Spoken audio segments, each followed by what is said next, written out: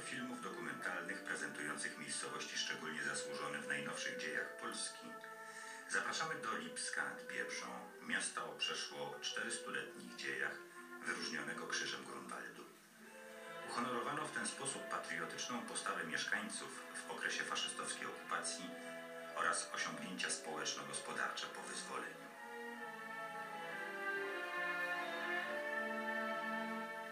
Spośród innych miejscowości województwa suwalskiego wyróżnia się Lipsk przede wszystkim zaangażowaniem i szczególną troską mieszkańców i sympatyków o utrwalenie mijającego, pamięcią o tych, co zginęli, byśmy mogli żyć w wolnym kraju.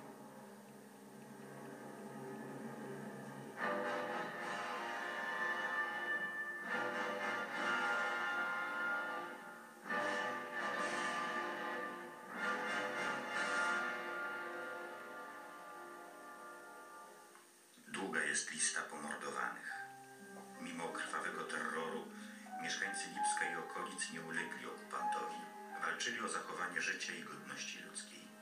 Z każdym miesiącem wojny narastał ruch oporu. Pierwsze ofiary hitlerowskiego terroru w Lipsku. Już pierwszego dnia okupacji w egzekucji zginęło 13 osób. Oto tylko niektóre z narzędzi zbrodni faszystowskich oprawców. Częściej niż gdzie indziej wraca się myślą do wydarzeń ludzi, którzy przyczynili się do rozwoju miasteczka i popularyzacji jego osiągnięć. W szeroko rozpowszechnionej legendzie Lipsk istniał już w XI wieku. Pisemna informacja o tym mieście pochodzi z 1533 roku i jest jak dotąd uważana za pierwszą wzmiankę o ogrodzie nad Biebrzą. Prawami miejskimi szczycą się jego mieszkańcy już od 1580 roku. Przywilej ten nadał Lipskowi król Stefan Batory. Odtąd królewskie miasto posiada herb przedstawiający łódź z rozpiętym żaglem. Wybudowany na Biebrze port miał służyć w transporcie soli dla Litwy.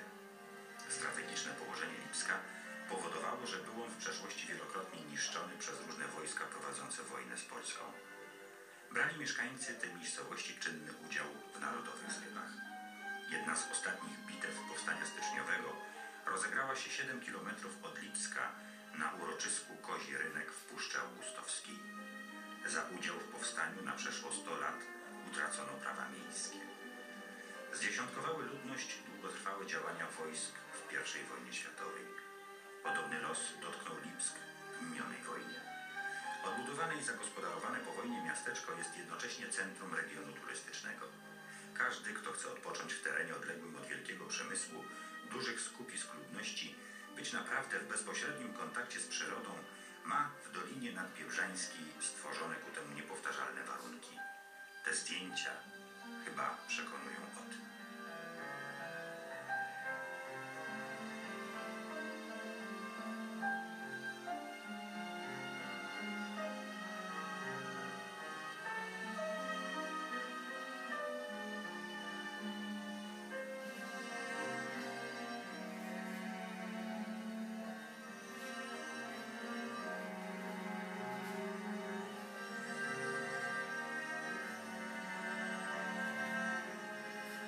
Bogata fauna i flora otaczającej Lipsk Puszczy przyciąga nie tylko turystów. To raj dla grzybiarzy.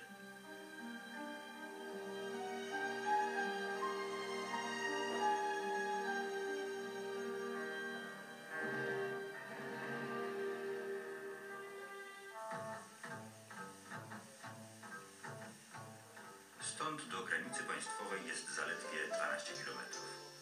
Żołnierze Wojsk Ochrony Pogranicza z tutejszej strażnicy utrzymują ścisły kontakt ze społeczeństwem, szczególnie często goszczą w tutejszej szkole.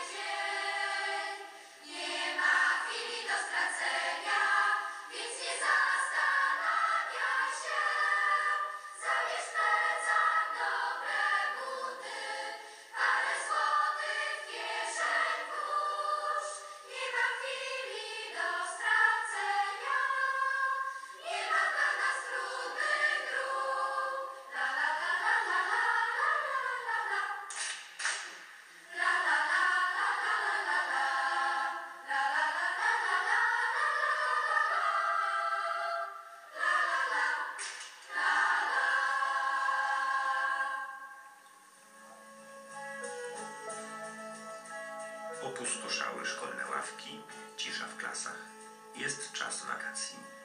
Dzieci przebywają na koloniach i obozach, pomagają rodzicom w pracy domowej.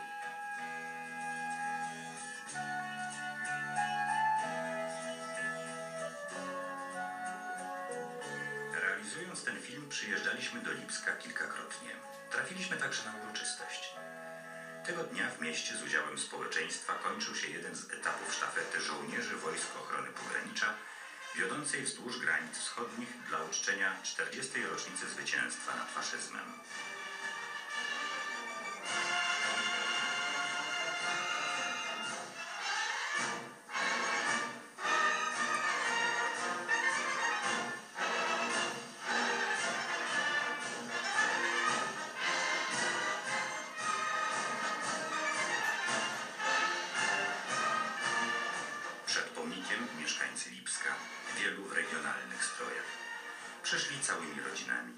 Łączy ich dzień dzisiejszy i pamięć o przeszłości, latach walki z okupantem.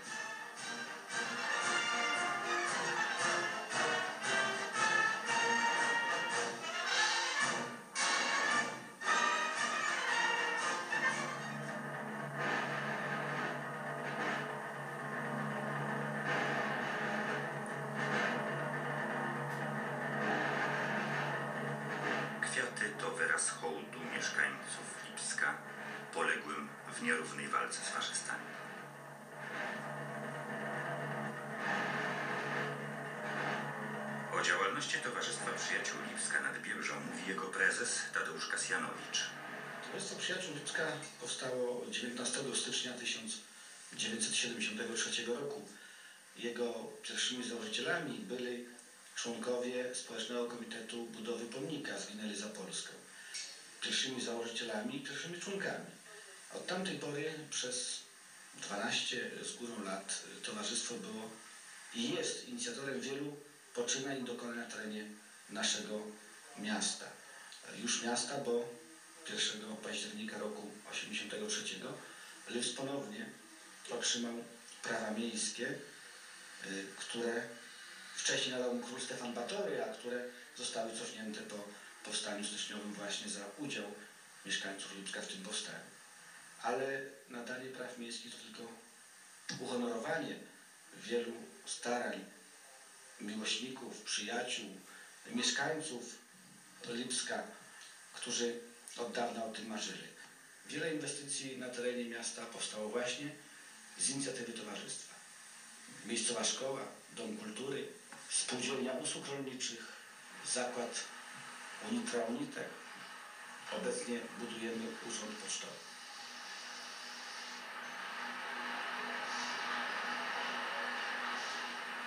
Kilkadziesiąt młodych dziewcząt i chłopców znalazło tu interesującą pracę. Zdobywają zawód ciekawy i co ważne, znajdują zatrudnienie nieopodal swych rodzinnych domów.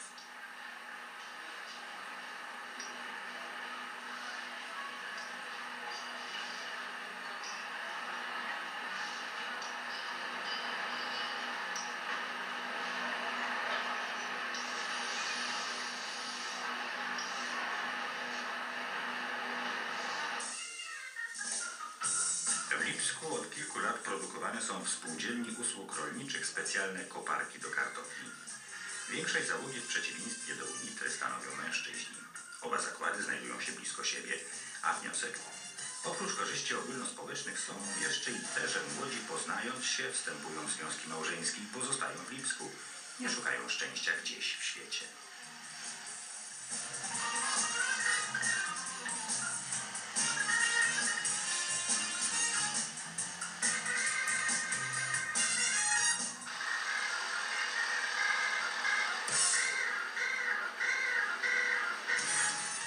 Okolice Lipska to tereny rolnicze.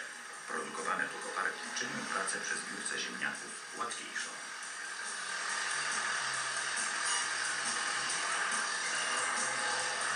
Ale ziemia ta nie rodzi za darmo. Żąda ciężkiej pracy i potu.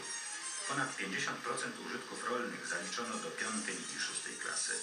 Mówią o niej święta ziemia, bo na niej żyli, ciężko pracowali i o nią walczyli w przeszłości ich potomkowie.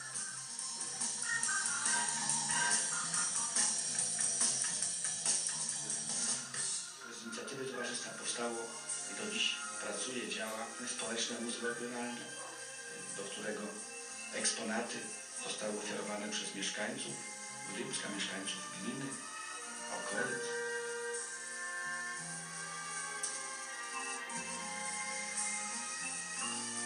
Dumni są Lipczanie ze swej przeszłości. Pieczołowicie kultywują ludowe tradycje. W jednej z sal widzimy zawieszone u sufitu kolorowe pająki.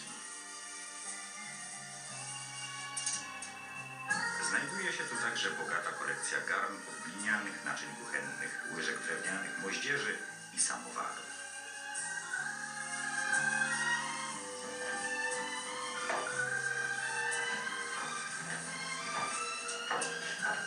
Każdego roku zwiedza to Społeczne Muzeum Regionalne tysiące ludzi, głównie młodzież. Ale tu mamy y, tkactwo. I y, chciałam powiedzieć, że warsztat tkacki, który przed sobą tutaj widzimy, znajduje się prawie w każdym mieszkaniu jeszcze w Lipsku.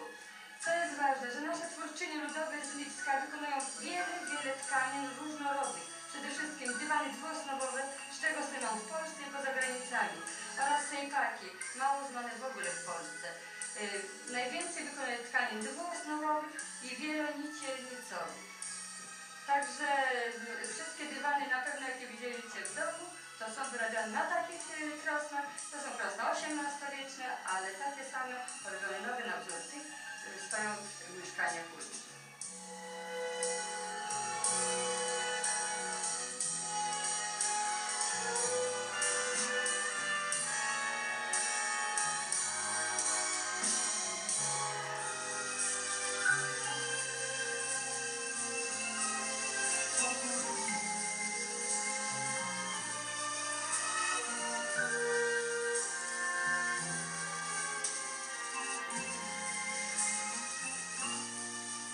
Najciekawszych eksponatów muzeum należą właśnie krosna tkackie.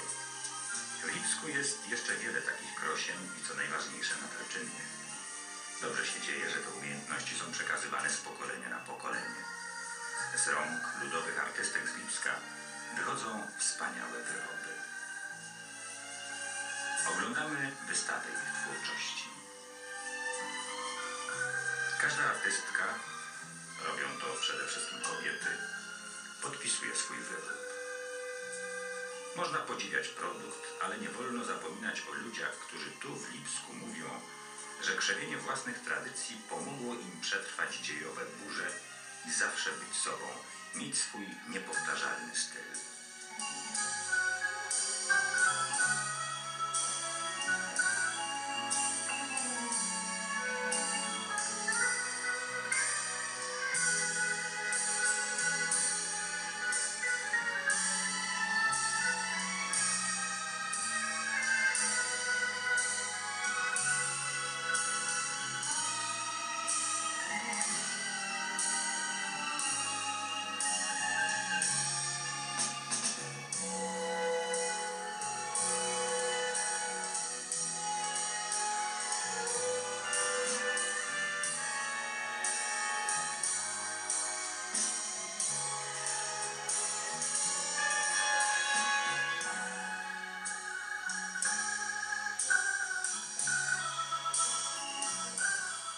Jeszcze jedna refleksja. Możemy być przekonani, patrząc na zajęcia dzieci lipskich, że również w najbliższych latach nie zabraknie równie pięknych wyrobów. Mają mieszkańcy tego nadbielżańskiego grodu głębokie przywiązanie do tego, co piękne, wynikające z własnej, głęboko patriotycznej ludowej tradycji. I chyba w tym trzeba upatrywać źródła ich sukcesu w wielu dziedzinach.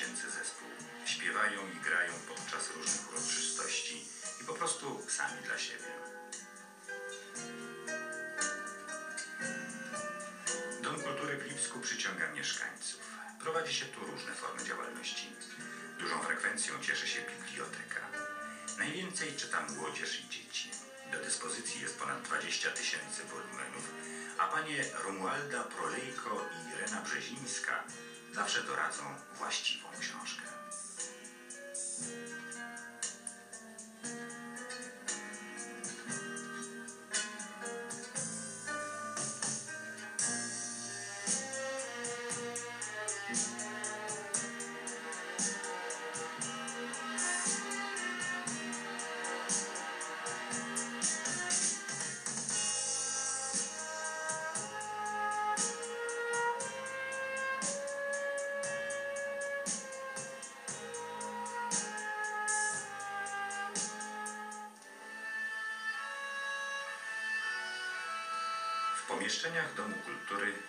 Mieści się także siedziba Regionalnego Zespołu Artystycznego. Mają na swym koncie wiele sukcesów. Właśnie przygotowują się do kolejnego występu.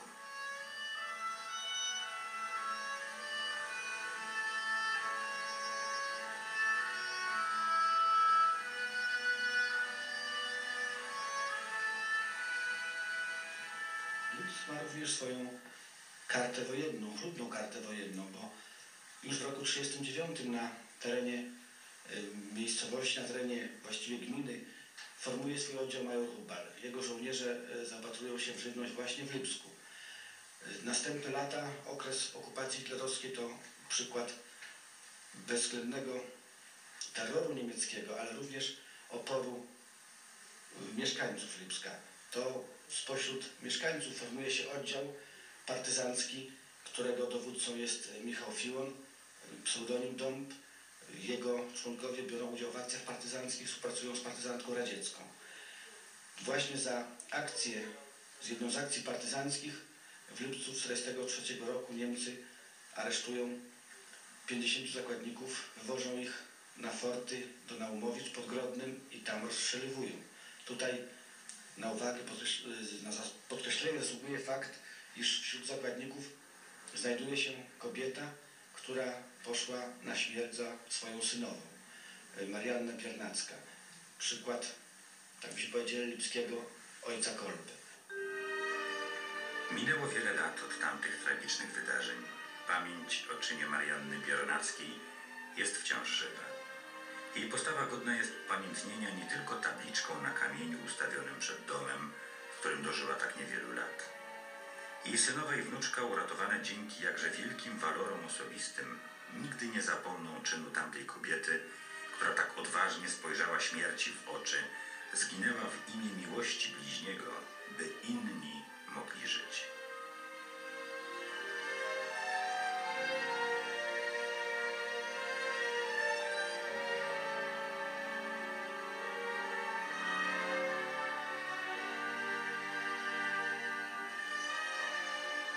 Pamięci mieszkańców Lipska utrwalił się obraz potwornej zbrodni, jaką dokonali Niemcy w okresie okupacji na mieszkańcach wsi Jesionowo, wsi leżącej w pobliżu Lipska. Wieś ta została całkowicie spacyfikowana, a wszyscy mieszkańcy zostali rozstrzelani. Tylko kilku ludzi uszło z życiem. Y, Towarzystwo również o tych ludziach, o tym miejscu pamięta i otacza opieką. Okoliczności, w jakich zginęli, opisał świadek tych wydarzeń. Mordercy przyszli nocą 26 sierpnia 1943 roku. Okrążyli wieś. Następnie wszystkich mieszkańców spędzili do jednego z zabudowań. Mężczyznom ściągniętym pod przymusem z sąsiednich wsi nakazano wykopać głęboki dół. Następnie hitlerowcy wyprowadzali z domów uwięzionych mieszkańców, ustawiali ich po dwóch na krawędzi tego dołu i kolejno strzałem w tył głowy zabijali. Maleńkie dzieci żywcem wrzucali do mogiły. Jeden z żandarmów z pistoletu dobijał w dole tych, którzy dawali jeszcze oznaki życia. Zamordowano wówczas 58 osób. Po egzekucji dokonano grabieży mienia pomordowanych. Wiele w tę ziemię wsiąknęło krwi jej mieszkańców. Wolność przyszła do Lipska 25 lipca 1944 roku. Przynieśli ją radzieccy żołnierze. Walki o miasto trwały kilka dni. Wsławił się w nich starszy sierżant Mikołaj Szewielewow, który otrzymał zaszczytny tytuł bohatera Związku Radzieckiego.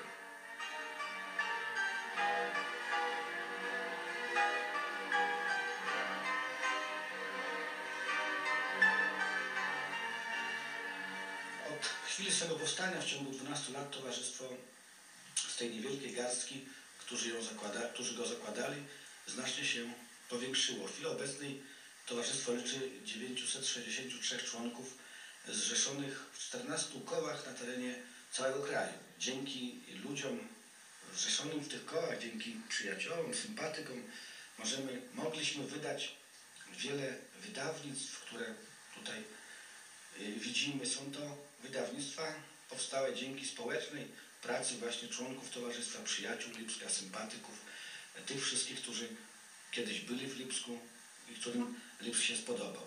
Towarzystwo e, organizuje co roku plenery młodych rzeźbiarzy. E, Są to uczniowie liceów sztuk plastycznych z całego kraju praktycznie, bo przyjeżdża do nas młodzież z Zakopanego, z Bydgoszczy, z Supraśla, z Zamościa, z Kielc i w ciągu miesiąca wykonują tutaj e, rzeźby, które potem zdobią naszą miejscowość i które mm, dodają chyba jej pewnego swoistego uroku. Miasto i gmina Lips to teren wybitnie rolniczy. Mieszkańców tej ziemi cechuje ogromny pietyzm dla przeszłości i ludowych tradycji, zachowania w pamięci pokoleń tego, co w życiu ludzi jest najważniejsze, wszystkiego, co jest duchową i materialną ojcowizną.